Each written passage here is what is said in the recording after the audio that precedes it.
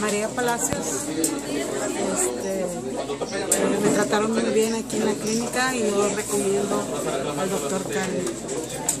Me, me quebré dos dedos. ¿Tuvo un accidente de carro. Tuve un accidente de carro, me quebré dos dedos y, y ya estoy mejor, ya tengo mi mano lista.